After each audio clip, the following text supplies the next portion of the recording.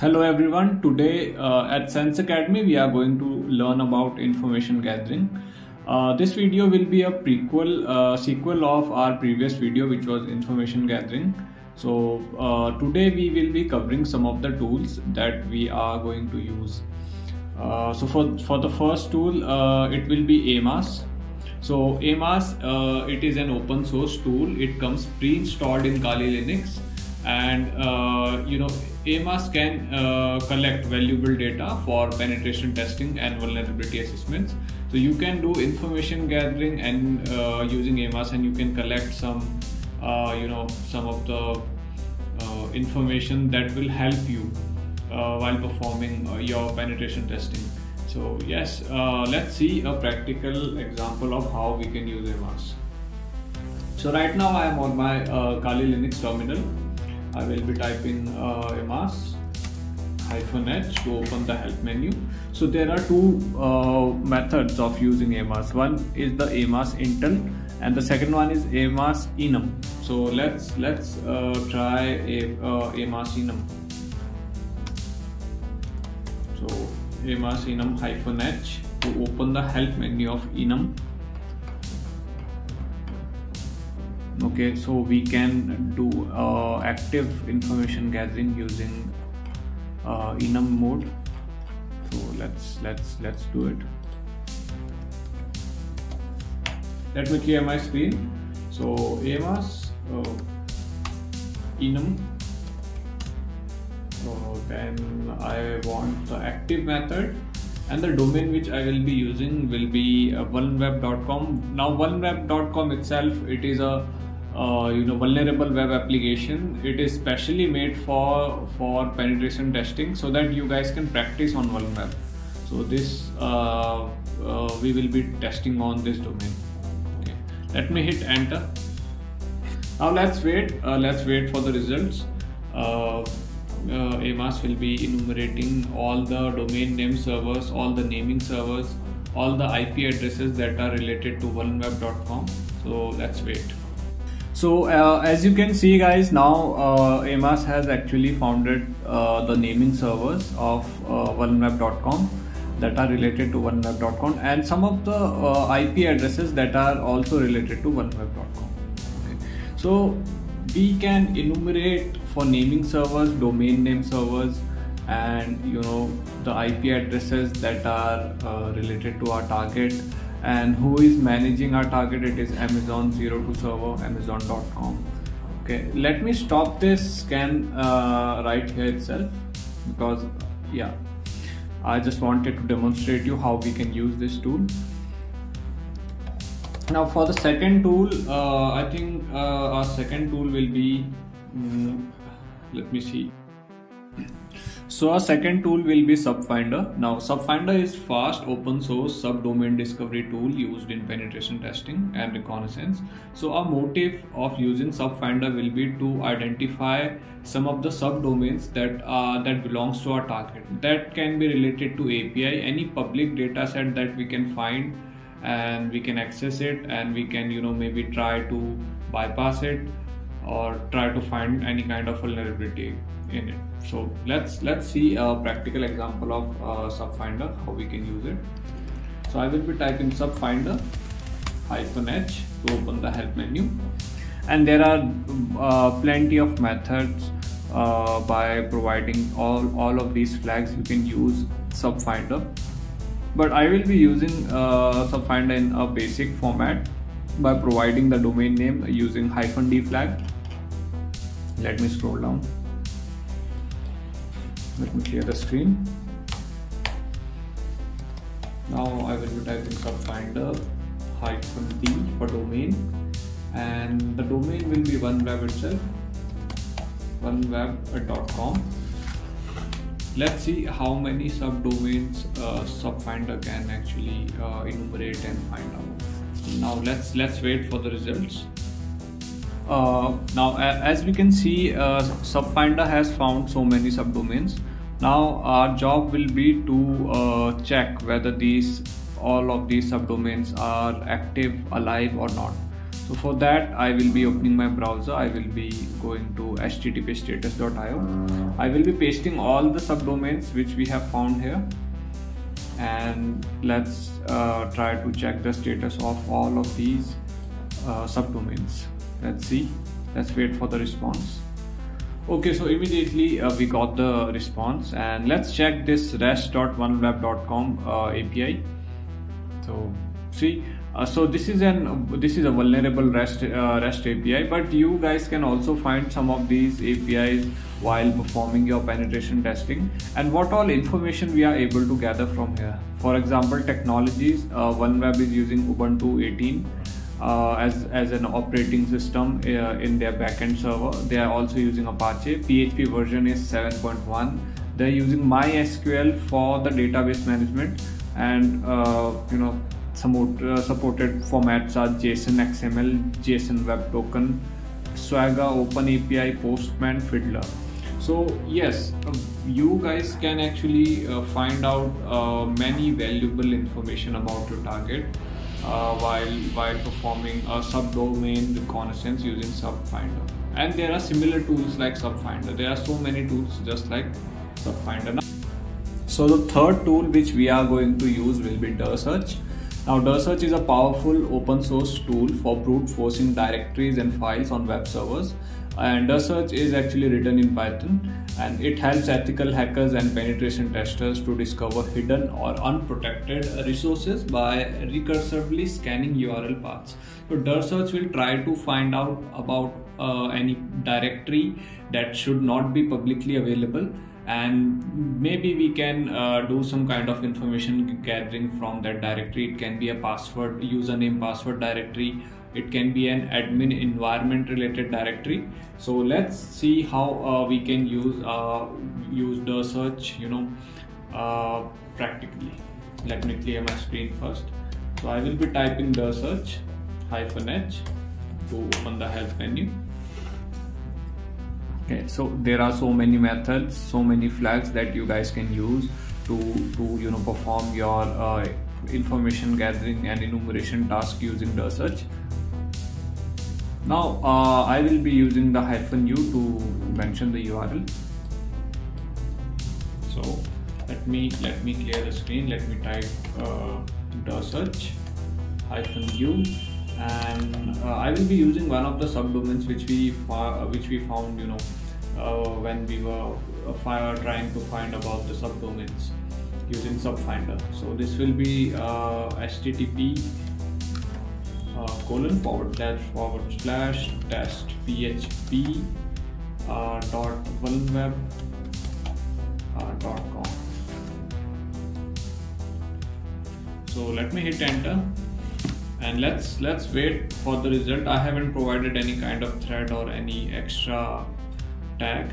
So now let's wait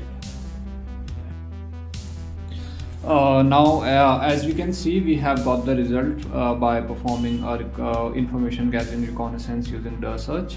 now there are some uh, directories that we can uh, maybe try to you know explore and maybe we can find some vulnerable some you know information that we can check while performing vulnerability assessment so test uh, php.vulnweb.com uh, and 404.php let's see uh, what error we can get.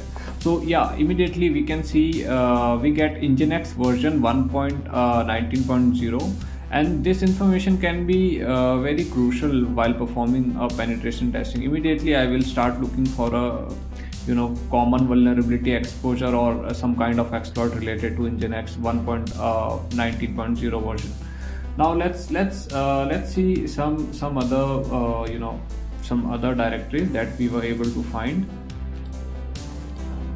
So this is the admin one.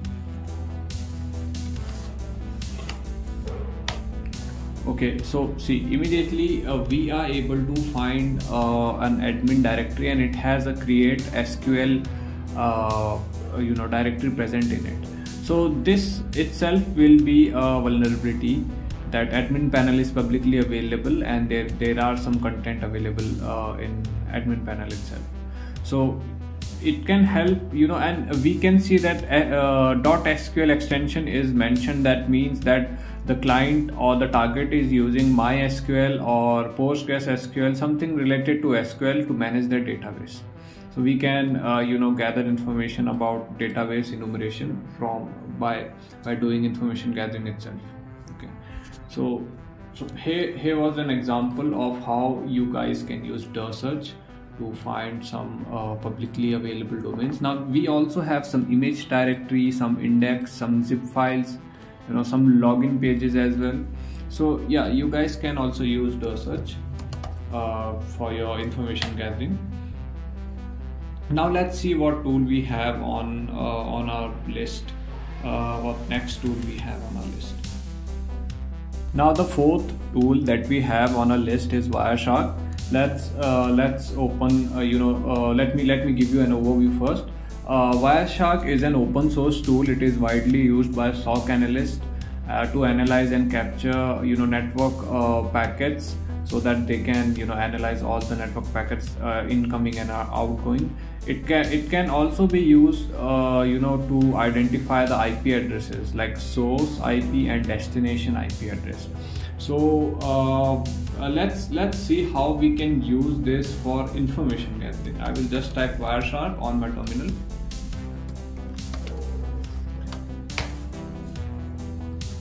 And let me uh, maximize the screen and I will be listening on ETH uh, 0 uh, let me first open the browser uh, browser itself.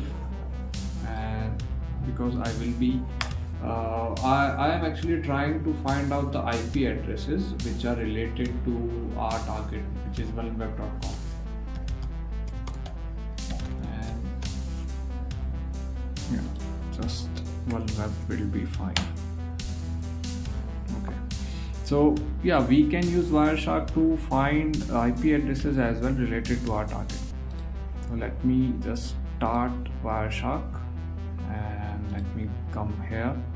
Let me open vulnweb.com and let's let's wait till uh, till wireshark captures all the packets related to domain name. And then i'm going to stop wireshark and uh, we will be analyzing the you know all the uh, network packets we'll try to find out the IP addresses as well. Okay let me stop here. And now I will be applying uh, the filter uh, called as DNS so I will be hitting enter.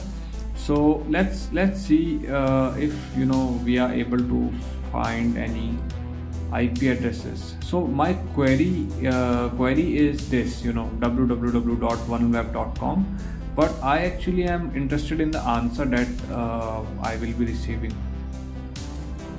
from the server end.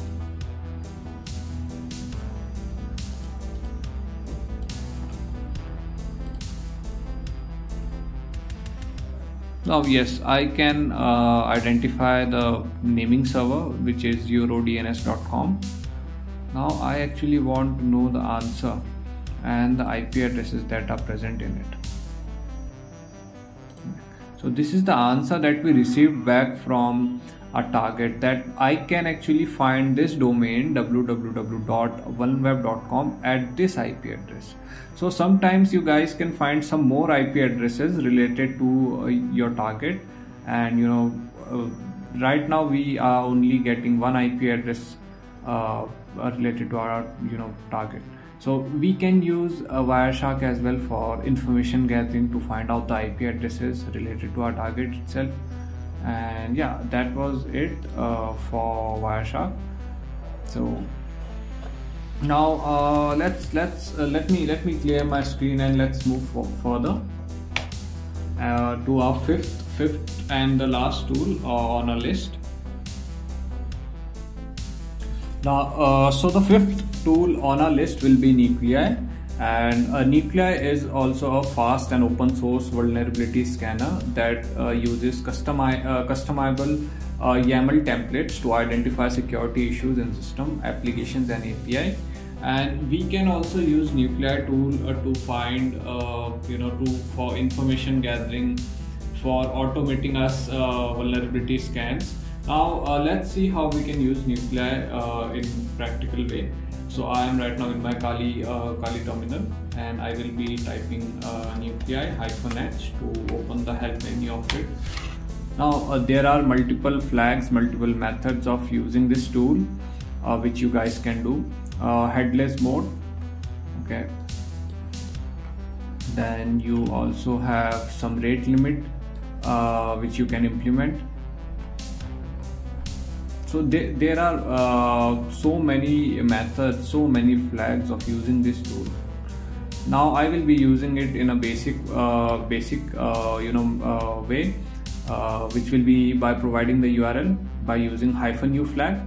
And let me let me come down to my screen. Let me clear my screen. So uh, nuclei hyphen u.